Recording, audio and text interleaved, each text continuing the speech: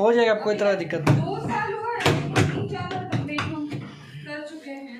इस वीडियो में फ्रेंड्स मैं आप लोगों को कंप्लीट एक्सप्लेन करने वाला हूँ कि अगर आपके पास भी सेमी ऑटोमेटिक वॉशिंग मशीन है और आपका भी स्पिन चलने टाइम साउंड का प्रॉब्लम बहुत ही ज़्यादा हो रहा है तो आप उसको किस प्रकार से सही कर सकते हो?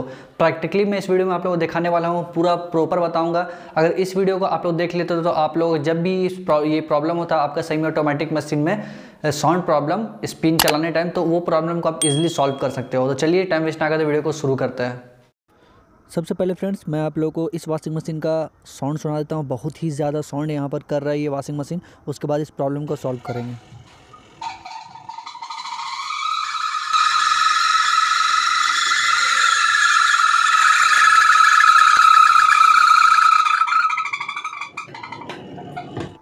अभी आप लोगों ने फ्रेंड्स यहाँ पर देखा किस टाइप से ये बहुत ही ज़्यादा साउंड कर रहा है। चलिए फ्रेंड्स अब इस प्रॉब्लम को हम लोग सॉल्व करते हैं तो यहाँ पर थोड़ा सा आप थोड़ा ध्यान से समझिएगा। वारंटी पेपर बिल दीजिएगा। यहाँ पर फ्रेंड्स हमारे सामने है सरसों का ऑयल और इसी ऑयल को अभी हम लोग यूज़ करेंगे जो हमारा बफर है उसमें लगा करके। बहुत ही आसान तरीक़े से ये प्रॉब्लम आपका सॉल्व होने वाला है बस आपको थोड़ा सा ध्यान देना है यहाँ पे। कुछ नहीं करना थोड़ा सा आपको समय देना बहुत इजीली ये प्रॉब्लम आपका सॉल्व होने वाला है। आपके सामने प्रैक्टिकली मैं आप लोगों को दिखाने वाला हूँ। तो हम लोग यहाँ पर इसको मूव भी करके देख लिए हैं टप को कि हाँ उसमें कपड़ा वगैरह नहीं फंसा हुआ है। अब यहाँ पर हम लोग आ चुके हैं अपने मोटर की तरफ़। ये ऊपर में बफर है, आप देख सकते हो, और बफर का जो हमारा बूस है, वो पूरा बूस रगड़ाने के बाद वही आवाज़ आ रहा है। जब भी ये जो साउंड आ रहा है बहुत ही ज़्यादा, वो बूस से ही आ रहा है। तो अब हम लोग क्या करेंगे? हमारे पास जो ऑयल है, उसका हम लोग अब इस्तेमाल करने वाले हैं।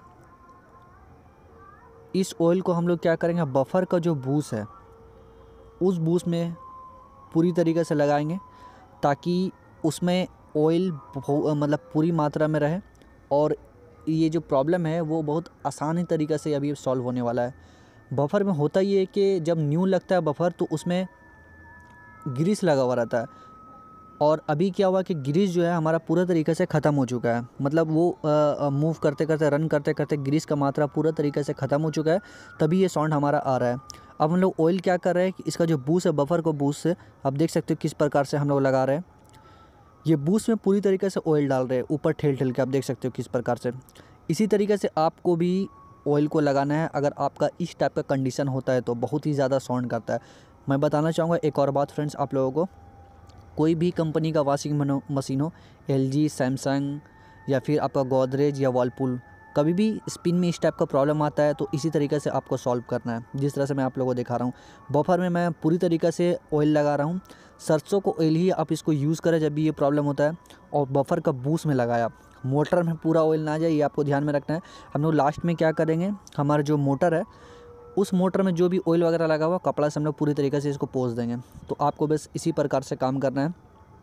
बफर में पूरी तरीके से ऑयल जाने के बाद ये हमारा प्रॉब्लम इजीली सॉल्व हो जाएगा। अभी मैं आप लोग प्रैक्टिकली अब दिखाने वाला हूँ। अब हम लोग मैं स्टार्ट कर रहा हूँ मैं वॉशिंग मशीन हम लोगों ने लाइन दे दिया, अब इसको स्टार्ट कर रहे स्पिन वाला। रन कर रहा है ये पूरी तरीक़े से। और हमारा जो ये प्रॉब्लम था, बहुत ही ज़्यादा साउंड का। अब इजली हमारा ये प्रॉब्लम सॉल्व हो चुका है फाइनली फाइनली बहुत अच्छे तरीक़े से अब ये रन कर रहा है और साउंड का प्रॉब्लम तो पूरा तरीक़े से क्लियर हो चुका है। मतलब अब ये साउंड आ ही नहीं रहा है। आपको मैं प्रैक्टिकली मोटर की तरफ़ भी दिखा रहा हूँ। आप मोटर की तरफ़ भी कंफर्म कर सकते हो। देख सकते हो ये हमारा मोटर के पास भी जो रन कर रहा है, बहुत आसान तरीक़े से। और साउंड का प्रॉब्लम तो है ही नहीं, बहुत ईजिली तरीके से प्रॉब्लम सॉल्व हो चुका है। ये कंडीशन आपने देखा शुरू में किस टाइप से प्रॉब्लम था, बहुत ही ज़्यादा साउंड आ रहा था। अब बहुत ही मतलब बहुत क्या बोलूँ मैं आप लोगों को, पूरे तरीके से ये प्रॉब्लम सॉल्व हो चुका है। तो आपने देखा फ्रेंड्स किस प्रकार से मैंने इस प्रॉब्लम को सॉल्व किया। आपके पास भी इस टाइप का कंडीशन है तो ईजिली तरीके से ये प्रॉब्लम आपका सॉल्व हो सकता है। मतलब सॉल्व हो सकता है, ठीक है? तो अब हम लोग इसको दोबारा रन करके फाइनली पूरा तरीके से चेक कर रहे हैं कि हाँ हमारा सही तरीके से काम कर रहा है, नहीं कर रहा है। तो बेहतर तरीके से काम कर रहा है हमारा, कोई तरह का प्रॉब्लम नहीं है। तो अगर वीडियो पसंद आता है तो फ्रेंड्स, प्लीज़ से प्लीज़ चैनल को सब्सक्राइब कर दीजिएगा।